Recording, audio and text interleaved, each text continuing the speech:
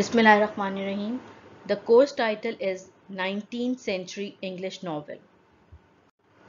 This lecture is about first 20 chapters of The Mayor of Casterbridge, The Life and Death of a Man of Character, a very famous novel of Thomas Hardy who is known as a philosopher by nature. This book opens with the introduction of three characters Michael Henchard, his wife Susan Henchard, and their young daughter Elizabeth Jane. The setting of the opening scene is southwestern England in the 1820s. Michael Henchard is a hairdresser and they all are heading towards Weydon Priors in Upper Wessex. The hairdresser is looking for work and on his way he is very sad, he is very depressed because he learns, he comes to know from a person that no jobs are available. And when they arrived at Weydon Priors, they came to know about a celebration that at this day Weydon Friars is celebrating a fair. Though they were very tired and the body language of this couple gives the idea that they are not in a very happy relationship. Still, they entered in the tent and there Michael Henchard noticed that a furmity woman is generously lacing the mixture with rum. And when he came to know about this, when he observed this, he signaled her to do so for him as well. After drinking, Michael Henchard lost his senses. He became argumentative and he started talking about his own unhappy married life. In his disturbed and emotional unstable situation, he put his own wife and daughter on auction. He said that he wanted to sell his wife and daughter.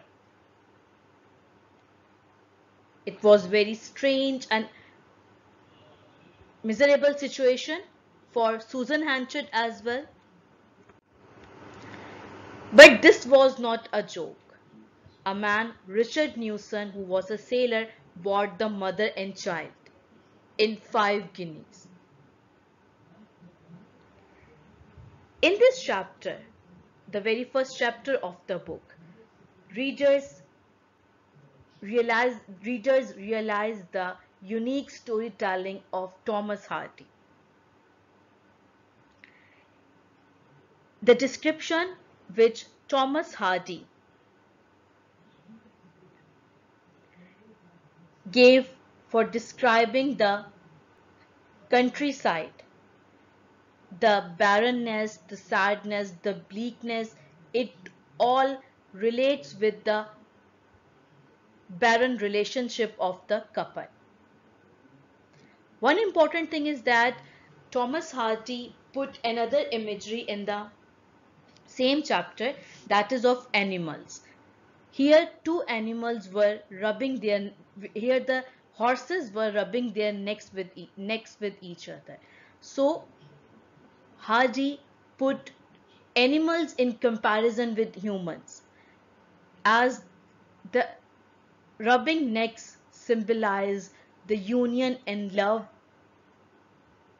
whereas the humans they symbolize the separation.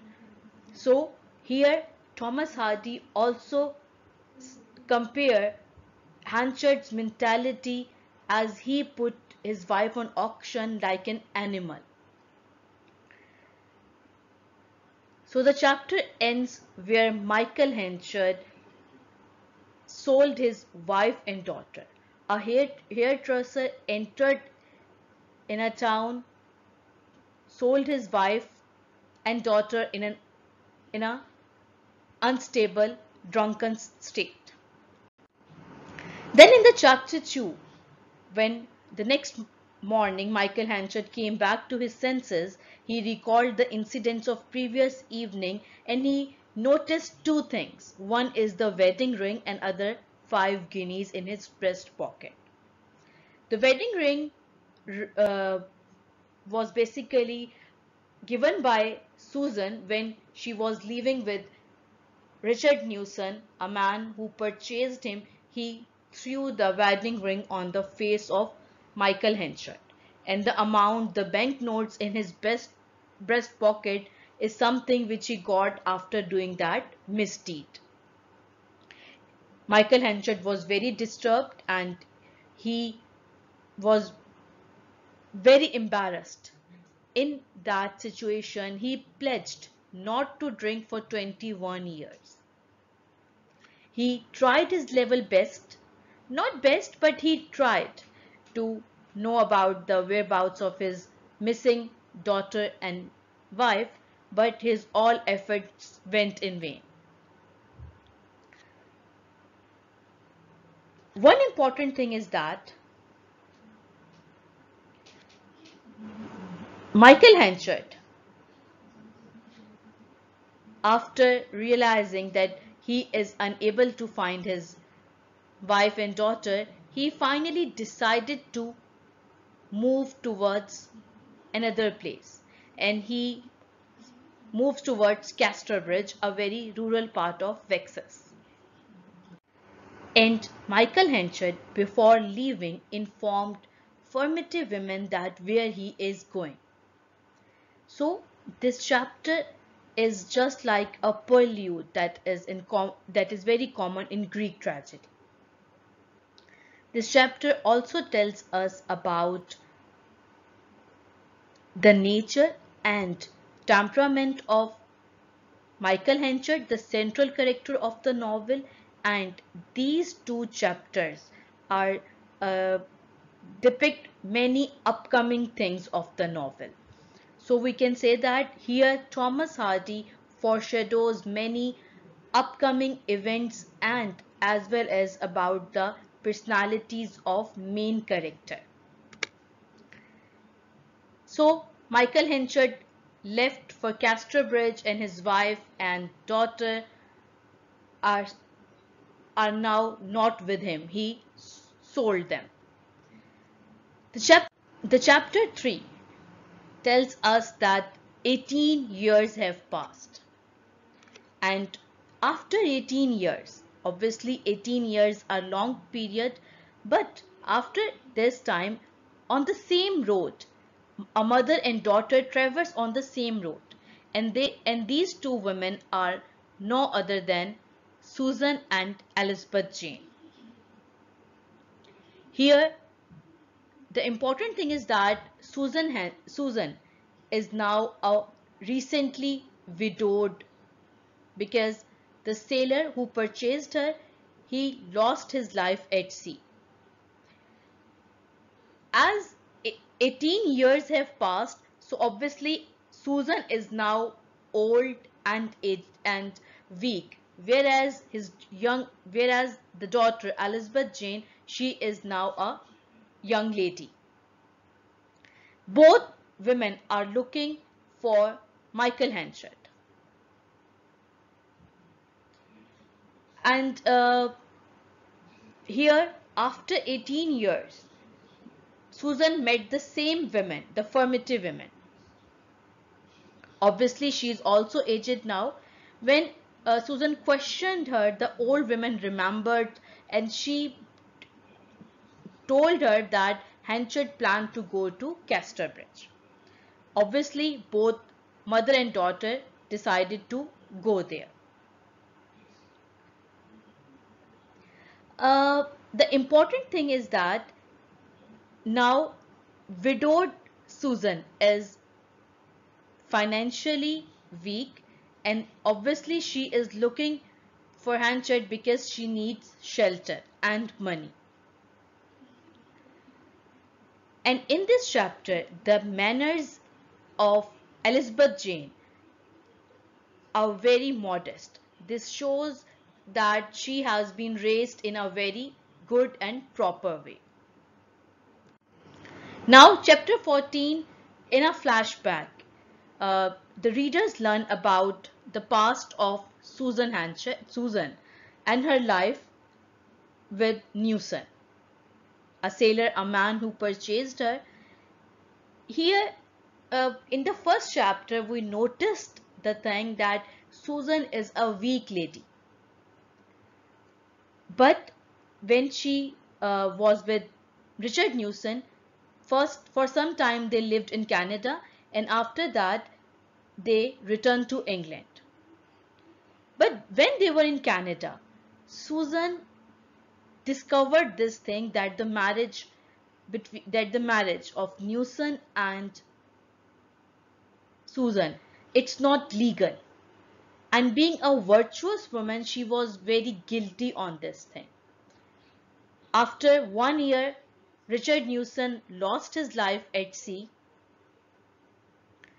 So finally this news worked as a release for Susan. But when she observed her financial situation and she also thought about the daughter's future. So she decided to go in search of Henchard. But when she reached Casterbridge, they came to know, the mother and daughter, they both came to know about bad wheat and shortage of bread. But Alice, but they were uh, very surprised and disturbed as well because everything was new for them. Time, uh, time has changed many things.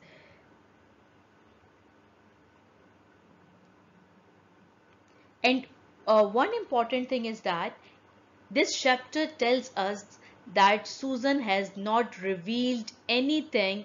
She has not disclosed his past in front of his daughter.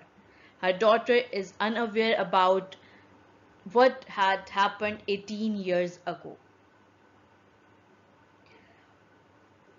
Now, uh, this chapter also tells us about Henchard and his role in the town which we can easily relate with chapter 5. But before moving towards chapter 5, here one thing that needs our attention is the device used by Thomas Hardy, a literary device that is dramatic irony. It means in which the readers are aware of the situation but the characters are not aware, they are unaware. The example is of Elizabeth Jane because she is unaware of the past of her own mother whereas readers know that about the past of Susan Henchard. This chapter also uh, gives a detailed description of rustic life. It is usually said that Thomas Hardy is a master of portraying rural life and uh, Hardy in his book gave, presented a beautiful and detailed picture of rural life and he emphasized on the pastoral people that how they were unaware from the from the air of modernism. Chapter number 5, let's relate it with chapter number 4 that Henchard and his role in the town. So here in this chapter, both mother and daughter, they reach to the King's Arm, where a, uh, where a public dinner is being hosted by the mayor of Casterbridge. Interestingly, the mayor of Casterbridge is no other than Michael Henchard. And obviously now he is a most powerful man in the town. This chapter also tells us that uh, Michael Henchard is still keeping his promise. He uh, he sips water instead of wine. Uh, he was uh, occasionally he was sipping from water glass. And it was very shocking and surprising for Susan. In this uh, uh, dinner that was hosted by Mayor, a man asked about bad bread, that what's the cause of bad wheat, and Michael Henchard said that he is dealing with a large business so he's unable to manage everything. That's why he is looking for manager and he has advertised this post. Here this chapter tells us foreshadows us again that a new character is coming obviously someone will apply for the post of manager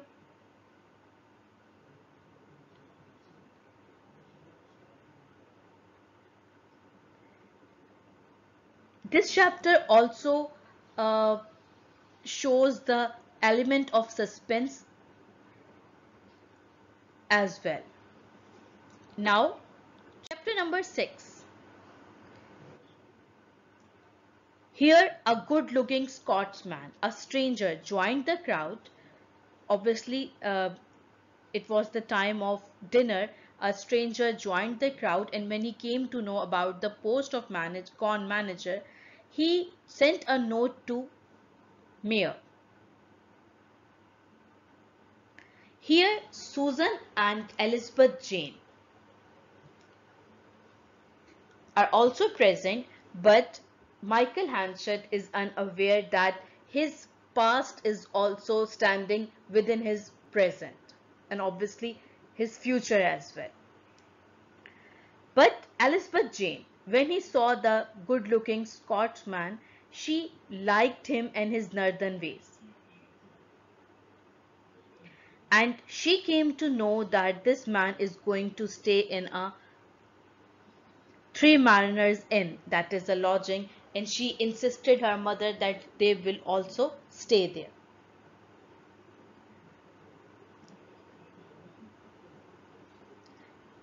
This chapter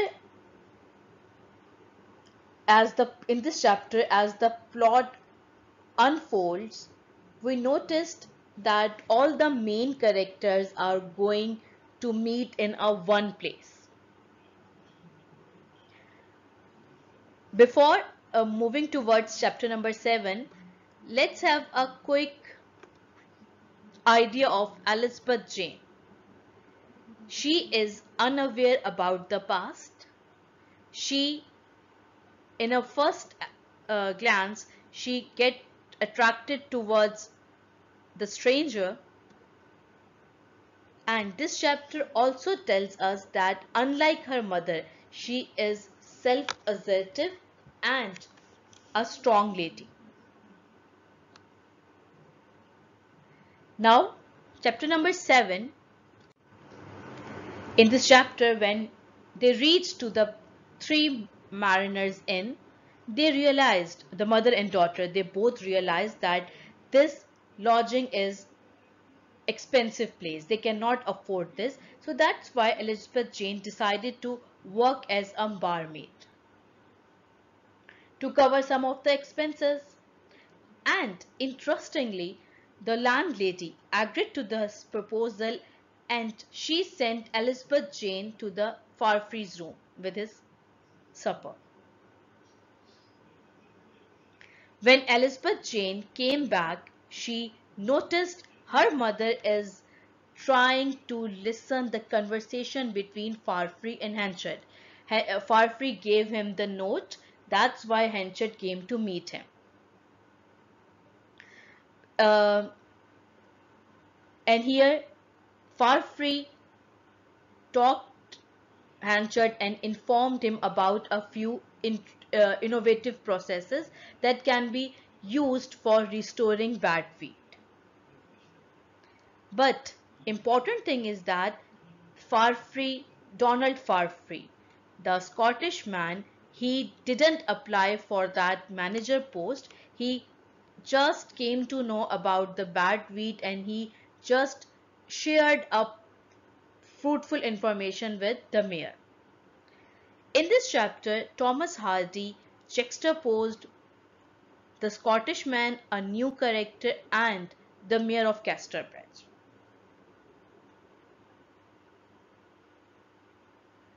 Obviously, they both are not only physically different in their structure. Farfrae is a man of science, a man of technology, whereas Henchard is a man who, who relies on traditional and old ways.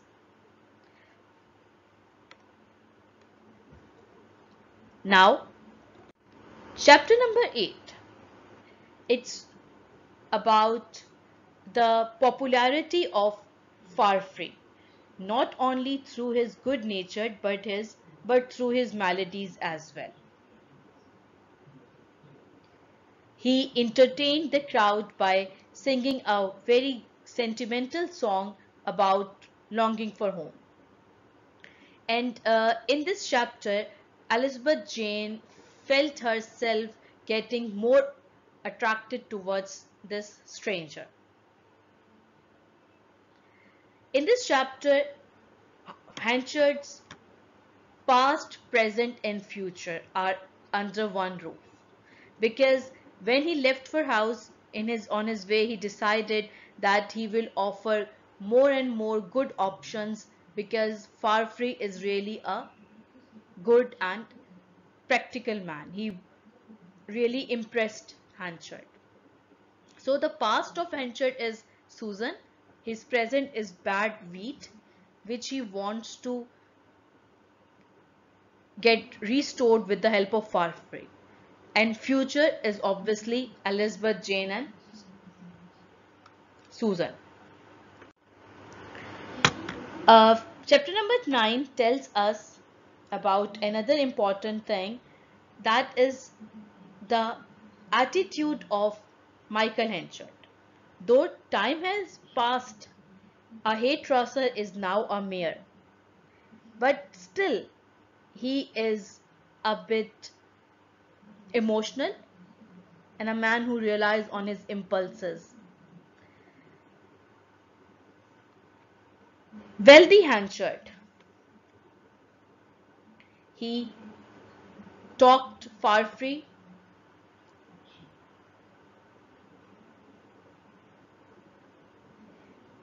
Initially, Farfrae was reluctant to, to join, but later his plans of America were not were vague and he finally accepted the offer given by Michael Henchard. So another story is running parallel in this plot that is of Henchard's past. Susan gave a note to Elizabeth Jane and asked her to give this note to Michael Henchard so that he came to know about their arrival in Casterbridge.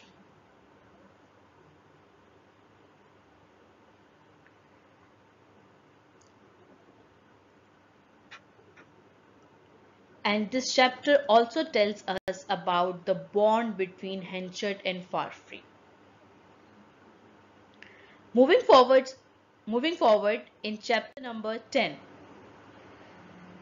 Two things, two interesting things uh, meet with Michael Henchard. The first interesting character or episode is of Joshua Jopp. He was basically a candidate for the post of manager and uh, during when when he came and in that inter the scene for an interview in which Michael Henchard misbehaved. Jopp he misbehaved with Jopp. And he unintentionally made his made him his enemy. Then he met with Elizabeth Jane Newson and it was very shocking and surprising for Henchard that Susan is alive and Newson has lost his life and uh,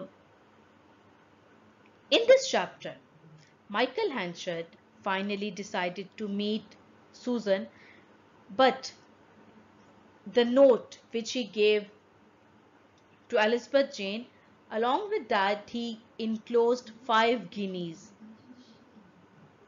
It's very interesting and ironic as well that the same amount was given by Richard Newson when he when Michael Henchard sold his wife and daughter. So he paid the same amount.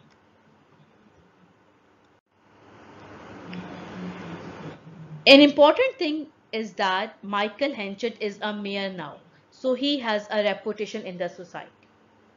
So they decided to meet at the ring, a place that is a bit uh, that is away from the town. Here Michael Henchard was ashamed on his past misdeeds and he said that being a mayor now they will take things in a very organized way first mother and daughter will buy, will live in a cottage in the Casterbridge after that Michael Henchard will eventually he will marry Susan and the young woman Elizabeth Jane will be known as the stepdaughter of the mayor Again, Michael Henchard became to know that Elizabeth Jane is unaware from any is unaware from anything of the past. In this chapter, Michael Henchard also apologized Susan on his past act and he wanted to and he really wanted to repay for his past misdeeds. That's why he wanted to add Susan and Elizabeth Jane in his future. He considered it as an opportunity to improve his past. When Henchard returned in the chapter 12, uh, he shared his all secrets with Farfrae. One important thing that Farfrae's interest in his work. This again shows the difference between the character of difference between the character of Henchard and Farfrae. Farfrae deals things in an organized way, whereas all the records of Henchard are disorganized, are not properly arranged.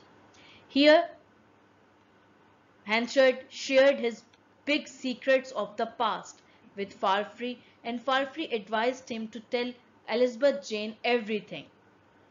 But obviously Michael Henchard was reluctant in doing so. In this chapter, Michael Henchard shared another secret with Farfrae that in the in the in the in the years when he was alone, he thought that Susan has died that's why she in, got involved in another woman.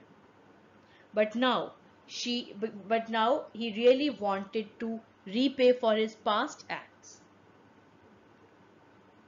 acts. Henchard requested Farfrae to write the lady in Jersey to explain the situation. And he also planned to send her money. So have you noticed that in the previous chapters he again tried to pay Susan and here he is trying to pay another woman. One interesting thing is that Michael Henchard unburdened his heart in front of Farfrae and after this he was not feeling uh, light. He was uneasy after telling his personal matters. And he doubtfully wonders, he said that, can it be that it will go so easily? It Here again he foreshadows the upcoming problems. Now moving towards chapter number 13, one important thing is that under the supervision of Farfrae, things were all the business matters were going in a good direction. As per plan, Henchard hires a cottage for Susan and started visiting her regularly. As per their plan, he proposed a marriage after a reasonable period and they got married. For many people in town, it was a very amazing, it was a very confusing thing because for them, Lucy, uh, uh, for them, Susan and Mayor, they are not, they, it is a mismatched couple. And they called, uh, and they called Susan as the ghost because she was weak, aged, and she was not uh, even her physical appearance was not very very attractive but here the the uh, the image of ghost is basically the image of Henchard's past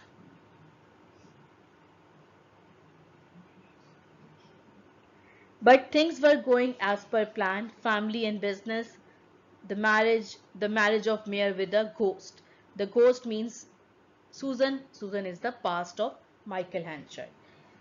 And it also tells us the bad, the misdeed which Henchard did in that fair. After the marriage, things were moving in a smooth way. They were in a good condition when Michael Henchard proposes an idea that he wants the name Elizabeth Jane Henchard instead of Miss Elizabeth Jane Newson. But Susan objected on this. And another interesting observation came in front of readers that Henchard realized that there is something wrong with the hair color of Elizabeth Jane. He said that uh, it is lighter than he remembered but it was not it but this thing remained unnoticed.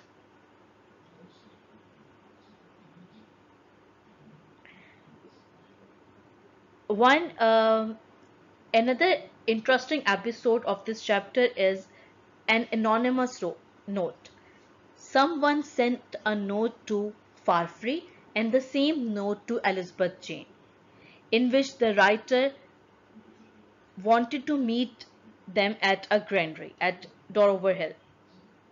When they both, when both of them reached there, they there was, they both were very surprised because they, both of them disown responsibility of writing this note. But this small coincidental meeting gave them a chance to know about each other. Chapter number 15. In this chapter, Elizabeth Jane, due to her position as the stepdaughter of Mayor, she became the town's beauty and Farfrae was also attracted towards her loveliness. This chapter, uh, in this chapter, a small, a minor dispute between Michael and Henchard changed things a lot. Abel Whittle, he was late on his work and Michael Henchard was very irritated and that's why he went his home and asked him to come to work without his breeches on. And it's his punishment. But Farfrae disliked this and he said that Abel Whittle must wear his breeches. In this clash Farfrae won.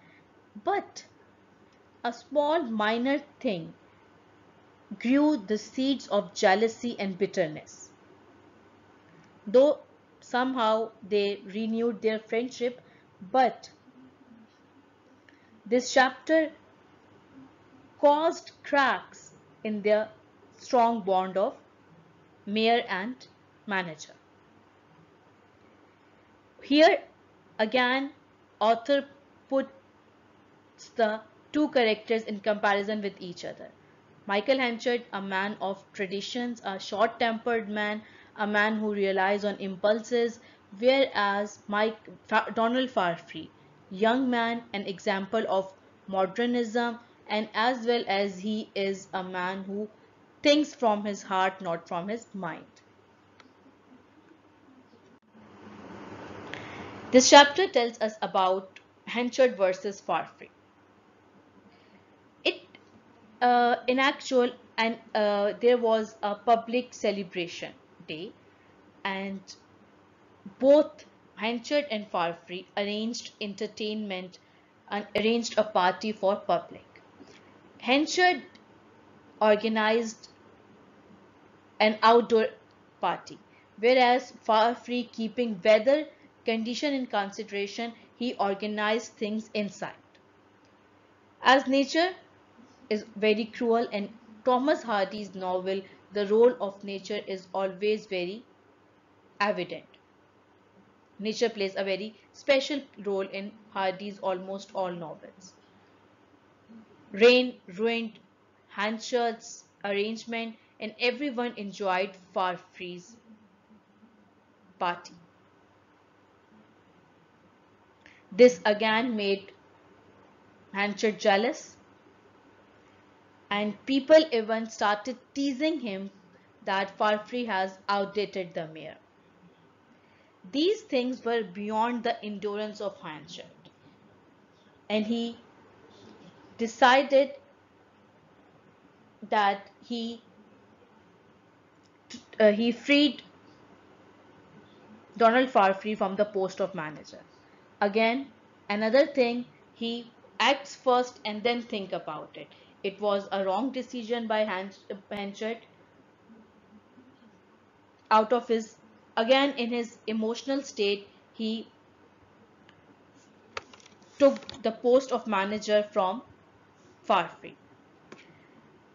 Everyone was enjoying in this party. Everyone was dancing, so is Elizabeth Jane, a young lady the young lady was very confused over the behavior of his father. She uh, and people and when and when he when he and when she inquired about this, people say that maybe she's step mayor's stepdaughter and it is improper to dance in the mixed throng. So she decided to go home.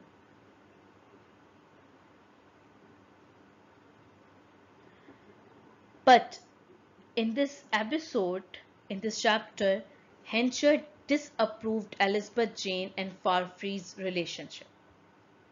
He asked her not to talk to Farfrae again and even he wrote a letter to Farfrae restricting him, asking him not to talk to his daughter.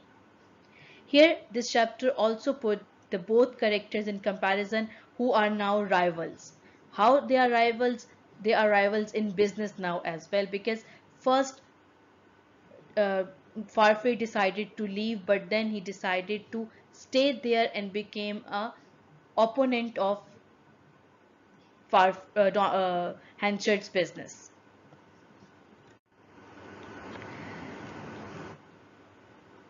Chapter number 18 takes us back to Susan who is not in her good health.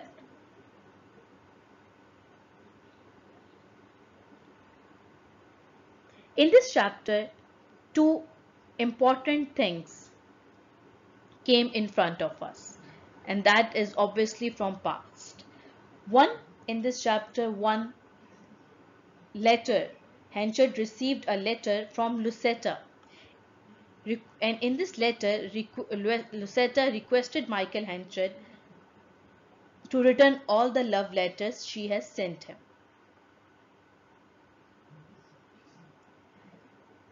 But when Susan realized that she is coming to, she is moving closer and closer towards her death, she does several things. The first thing which she did, she wrote a letter. And in this letter, she sealed the she sealed it and addresses it in the words that Mr. Michael Henchard not to be op opened till Elizabeth Jane wedding day.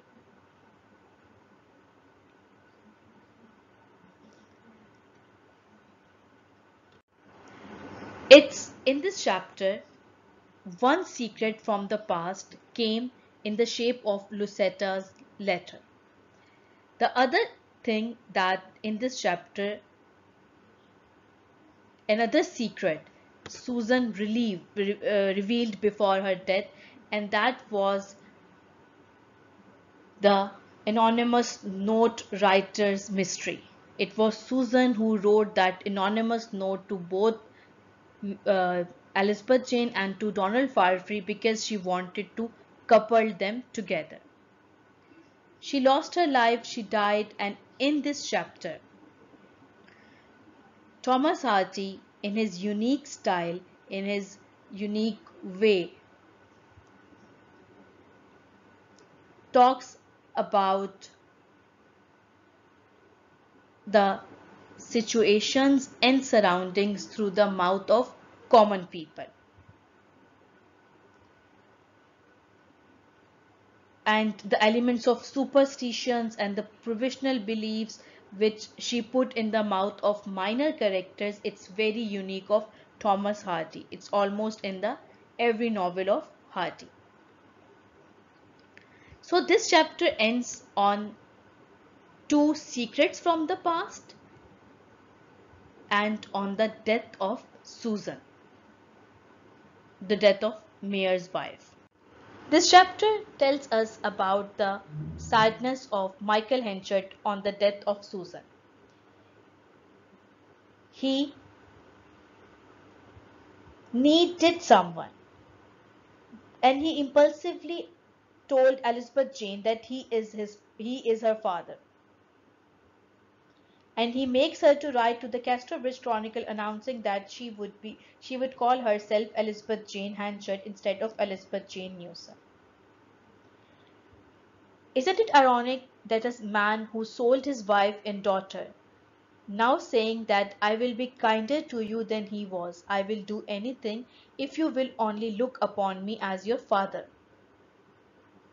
He goes to his room and there he saw a letter, a letter with the restriction that not to be opened till Elizabeth Jane wedding day. Michael Henchard ignored the request and opened the letter. This letter informed him that his daughter, who was in the arms of Susan when Richard Newson purchased him, she died after three months. So this Elizabeth Jane is an actual Elizabeth Jane Newson. So till this chapter, many things are cleared up. This all this the first clarity is that who why Susan was against why she objected when Michael Henchard first proposed this idea of the name of Elizabeth Jane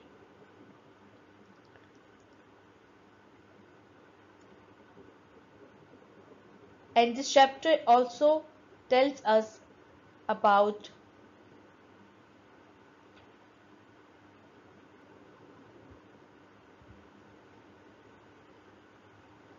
the gloomy picture of Henchard.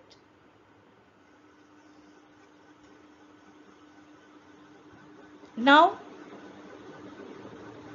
in chapter number 20, Elizabeth Jane was happy that his father her father asked her for in this chapter my uh, elizabeth jane was really happy. But when she asked for her father's love she was very surprised because michael henchard started ignoring her. He started highlighting her her weaknesses. And in one night he changed his behavior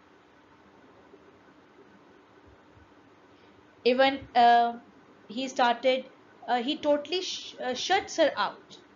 Elizabeth jane was very surprised on this changed attitude of henchard and that's why she started visiting her mother's grave. Here she found a new companion a woman who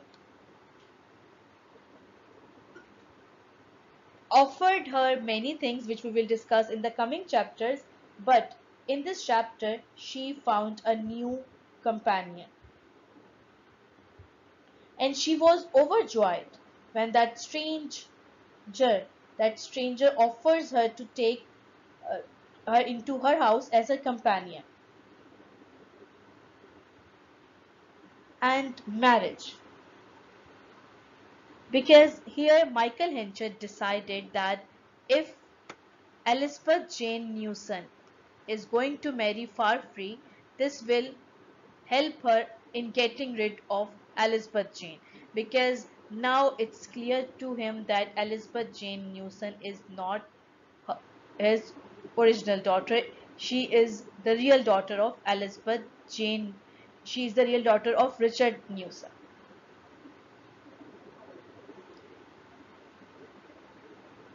The reader, uh, again, we can say that dramat dramatic irony is here because readers are aware but character is not aware about the situation.